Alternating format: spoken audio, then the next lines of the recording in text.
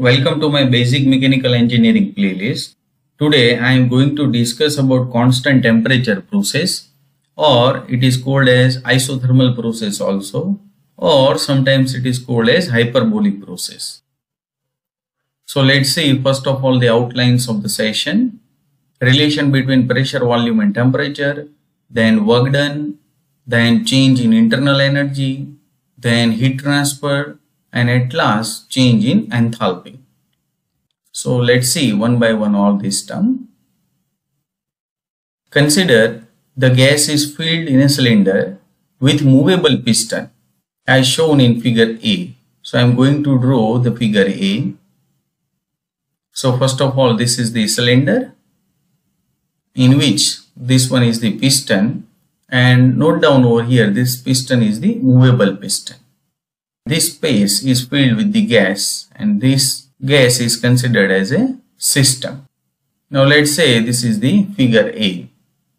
Now I am going to draw the PV diagram to represent the state of this gas.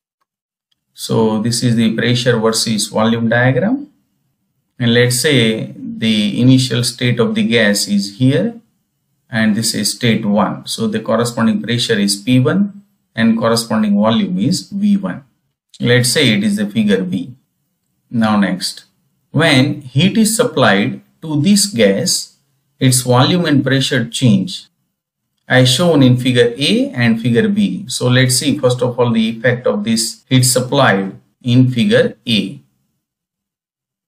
So here you can say the volume is change and due to that there will be the effect on the pressure also let's say this is the state 2 on the PV diagram for this gas and the corresponding pressure is P2 and corresponding volume is V2 and so that you can say this 1-2 process is known as the constant temperature process.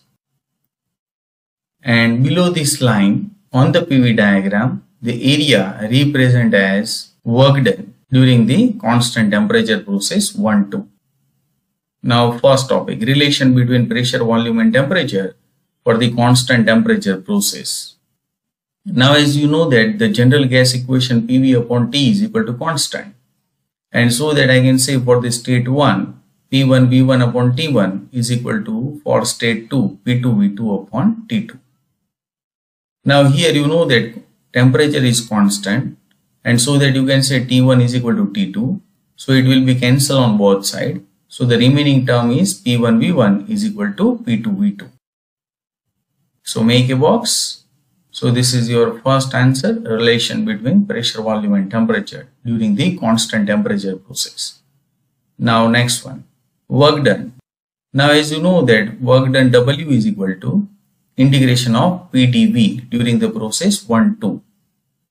Now here you know that the pressure is also vary during the process 1 to 2. So you can take as a constant. And at the same time volume is also change.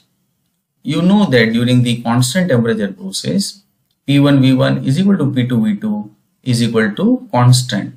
And so that I can say PV is equal to P1 V1 is equal to constant. So from this equation you can say pressure is equal to P1 V1 upon V. Now I can put this value in this equation. So P1 V1 upon V into dV. Now you know that P1 V1 that is equal to constant. So I can take P1 V1 outside of this integration and the remaining term is 1 upon V into dV. Now you know that the integration of 1 upon v that is ln v. So p1 v1 as it is and this is ln v. The limit is 1 to 2 as it is. Now next. This is the previous slide. Up to here we have discussed. Now you can put the limit. So p1 v1 as it is and in bracket ln v2 minus ln v1. Now once again p1 v1 as it is and here you can say ln v2 by v1 so this is the equation for the work done during the constant temperature process now next change in internal energy now you know that du is equal to mcv integration of dt. Now here the temperature is constant and so that you can say dt is equal to 0 and so that du is equal to 0. So make a box.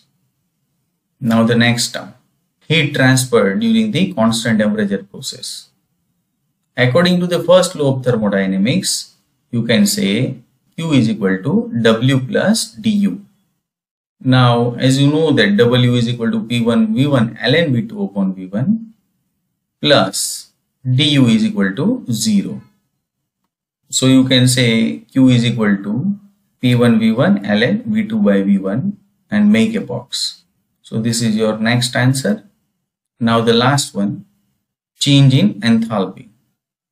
dH, that is a change in enthalpy, that is mCpT2 minus T1. And this equation already we have derived in case of the constant volume process and constant pressure process. So if you want to see, then you can refer my earlier video of constant volume process and constant pressure process. So, so far we have derived the different five terms for the constant temperature process. If you have any doubt, then you can raise your question in the comment box. I will be back. Thanks my dear friends for watching this video.